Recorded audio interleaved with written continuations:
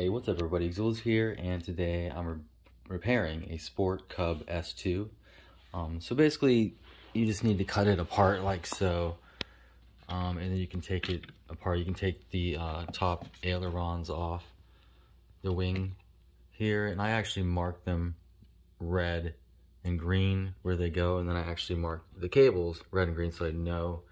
And then the rest of the board, um, there's a couple extra ones on the board and there's actually an extra wire as well that goes to the wing. This is actually for a camera if you wanted to put a forward um, facing camera on it and then you could cut through the wing right here. That's where it's supposed to go. And it would pop out the top of here, which would be pretty cool. I actually want to try that, so maybe one of my next videos I will, will do that. And then that plugs into the board as well.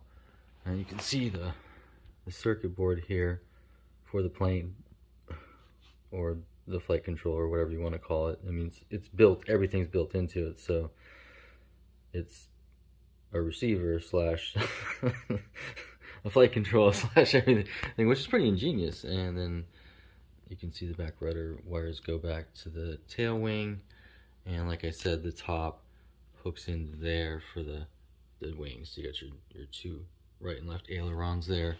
And the engine right here, I had to take it out, comes through here. And that's the only reason I took it out is because I need, this broke here, this wire, and I need to solder it on.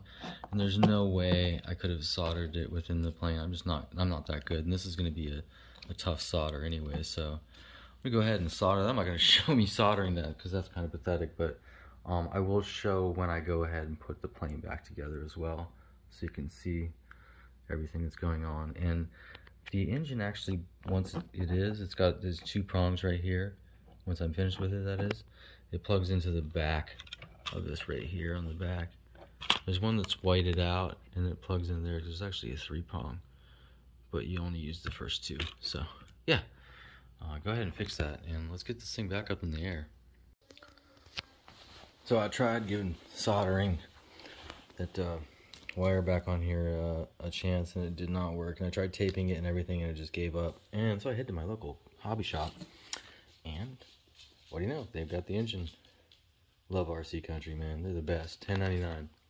So um, I'm gonna pop this thing in there and get this bird fixed and back up on the air.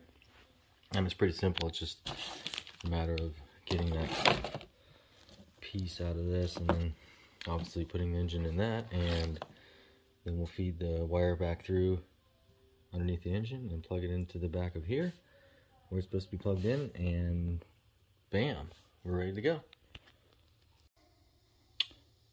So it took a little bit of work to get it out of this little plastic clip, but I just cut around with my nice knife here and was able to slide it out basically. So there we go. And so you just wanted to push on it from this end where it was sticking out and just right here, push on this end and slid out of there. And so now we're just gonna slide this one in here, like so. I guess I'm gonna put down the camera to do this, and I'll do this and show when it's done.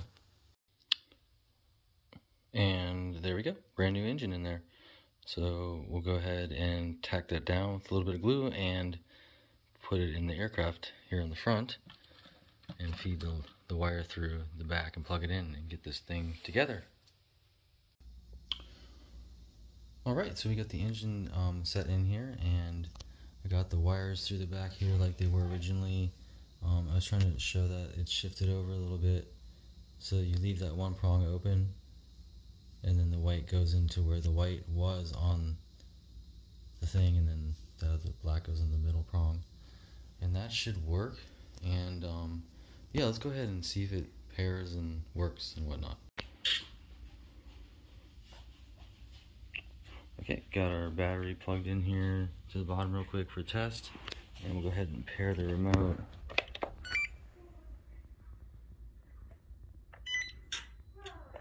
And there we go. Yep, looks good. And moment of truth with the prop on. Yep. There we go. Perfect. So that is repaired. Awesome. All right, let's put this thing back together. And uh, we're ready for some more flying with this thing.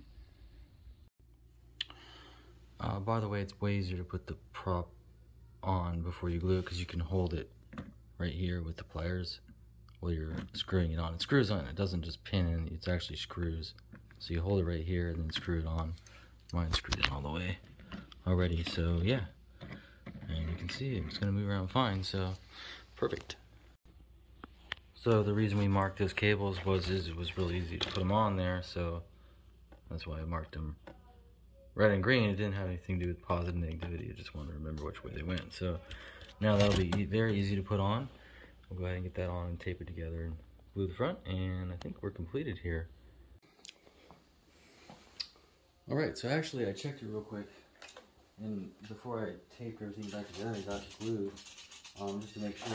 And I had the wires backwards, so actually the black goes into the little white prong all the way at the end, and the white goes into the middle one, and then the one closest to the left side of this, which would be the left wing, is open. So it's weird. Um, I'll leave obviously in the description. I'll be showing this as I do, but now everything works. I'm gonna have to adjust the ailerons. It looks like, um, but now I've got yeah, turn forward instead of backwards. If you plug it in the other way, it goes reverse. That's how I figured it out. I started up after I put the wing ailerons in and all that. So um, it's looking good. I just need to do some uh, minor adjustments, and this thing is good to fly. So awesome. We were able to fix it.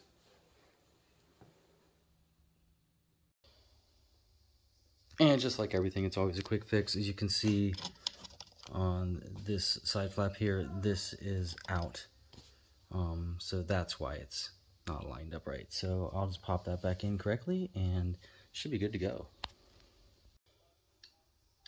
And now you can see it aligned the flaps up perfect once I uh, plugged in the battery in. So it's all paired up, ready to go.